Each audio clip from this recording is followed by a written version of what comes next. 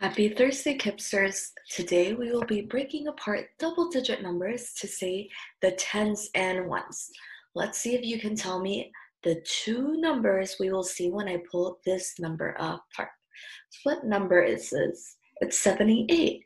And let's see what two numbers are going to appear when I pull this number apart.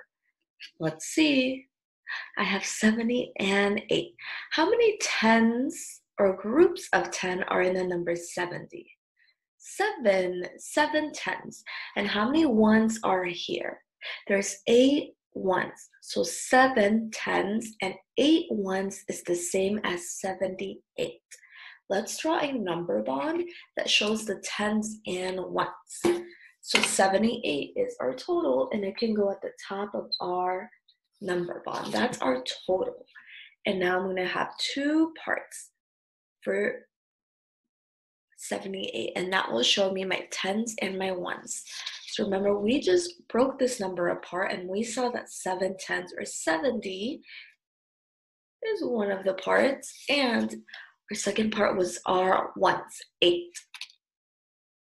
So 70 and 8 make 78. Let's see if we can make number sentences from this number bond. So number sentences are I'm going to put two parts together. I'm going to add them together and get my total. 70 plus 8 equals my total 78. I wonder if I start this time with my ones and I say 8 plus 70 equals 78. So in both of these number sentences, even though they start in different ways, both of these addends add up to my total of 78. The total did not change. Try it with a number 54. We can write our number bond first. What will our number bond look like for 54?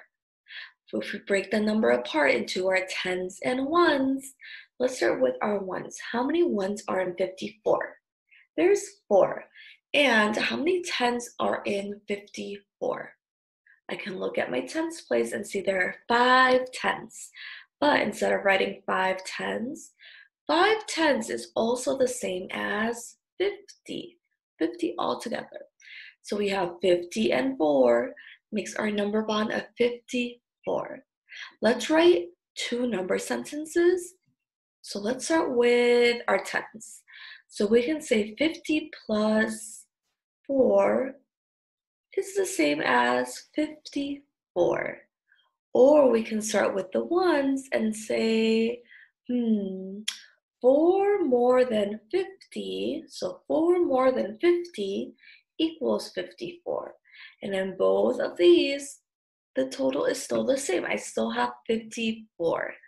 For these next problems, 1 through 4, I want you to try and solve these problems all on your own but we're going to do number one together so that you know what your work should also look like. So we have in that picture right there, we have some bundles of sticks and some loose ones right there. So in each bundle of stick, we have a group of 10. So this is a group of 10, that one, that one, that one are groups of 10. And then of course, we have our loose ones. So if I want to fill out my number bond, just like we did before, I have to have my total and then my two parts, my tens and my ones. So I can label my number bond too so I don't forget. I'll have my total, my tens and ones that make up my total. Those two parts make up my total. So let's count to see how many groups of 10 we have we have one, two, three, four, four tens. And that's the same as saying 10, 20, 30, 40 sticks. So we have 40. And now we can write our loose ones. I have one, two, three, three ones. And my total should be, hmm, let's count one more time 10, 20, 30, 40, 41, 42, 43. I have 43 as my total. So now I can fill out my sentences. 40 and 3 make, what number did they make when I added 40 and 3 together? They made 43 good.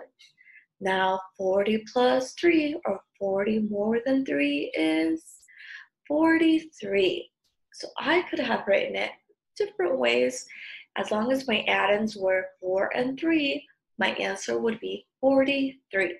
So go ahead and try numbers 2, 3, and 4 all by yourself and then pause the video, come back and check your work.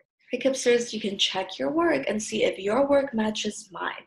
And then make sure that for each problem that you did, you were super careful with your number bond and had your total and your two parts that made up your whole the whole drawings that you see there in the boxes. For your exit ticket today, you're going to be doing the same thing you just did. You're going to count some objects for example, the cubes right there, you're going to figure out how many tens there are and how many ones. And then two number sentences to show the tens and the ones, the two parts that make up your total. And for number two, complete the sentences to add the tens and ones. So letter A is asking you what's 90 plus 2. What do you get when you put those two numbers together? And letter B, it says 7 tenths plus blink ones equals 79. So look at 79 and figure out how many ones are in 79. See you tomorrow, Kipsters.